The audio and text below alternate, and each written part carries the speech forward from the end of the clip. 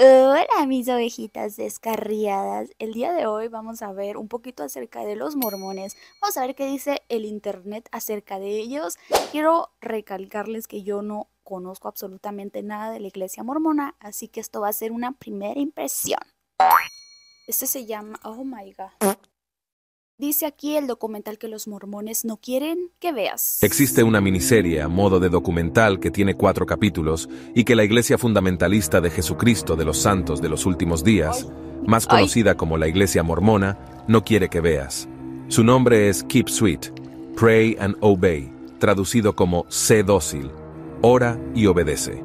Este documental del año 2022 da a conocer la historia de Warren Jeffs y cómo llegó a ser considerado un profeta, además de presentarlo como el caso de abuso infantil más grande en la historia de los Estados Unidos.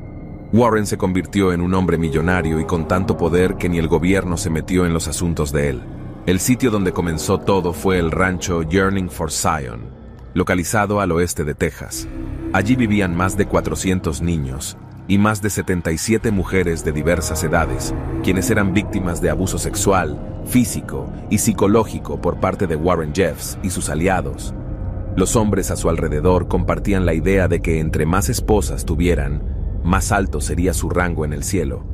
Este documental está cargado con imágenes de archivo, entrevistas y videos, y en estos se muestran los horrores que vivían las mujeres, niñas y niños que residían en esta granja. ¿Te atreves a ver la cara oculta de esta secta del mormonismo?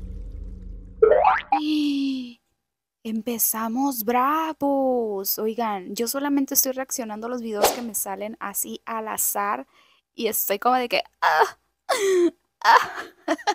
Dudo que esto sea realmente la iglesia mormona, pero bueno, aquí nos dice que no veamos esta película, pues vamos a verla un día de estos. La voy a buscar, dicen que está en Netflix. Mm, no sé, muy extraño. Vamos al siguiente video.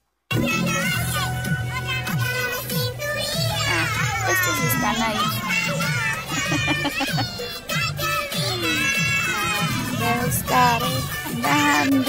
Ah.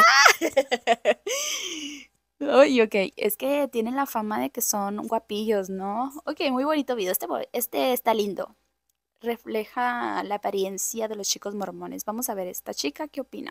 Yo soy miembro de esta iglesia y no, no nos llamamos así. Nos llamamos así. Ah, Y hoy te voy a hablar de cosas que son muy importantes para Espera. nosotros. La Iglesia de Jesucristo de los Santos de los Últimos Días es el real nombre de los mormones, ¿ok? No sabía Número uno, la familia. Creemos que las familias pueden ser eternas y que pueden estar unidas más allá de la muerte. Tenemos iglesias, que son lugares donde nos reunimos todos los domingos. Pero también tenemos lugares muy sagrados que se llaman templos, en los cuales debemos de prepararnos para poder ser dignos de oh. entrar a ellos.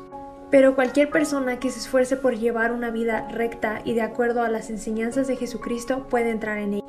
En los templos literalmente se unen las familias, es decir, los esposos se ah. unen, se casan o en otras palabras, para nosotros se sellan por esta vida y por la eternidad.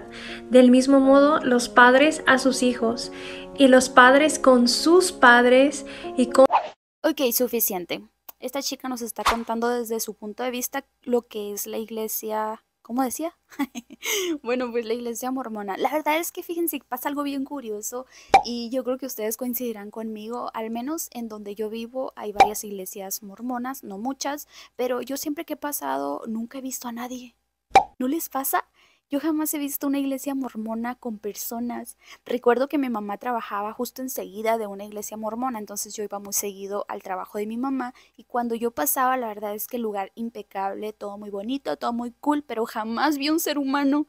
Los vi predicando, los vi que pasan, el otro día pasaron por aquí, por mi hogar y todo bonito y cool, pero nunca he visto gente en las iglesias. ¿Ustedes sí han entrado? Cuéntenme cómo son por dentro.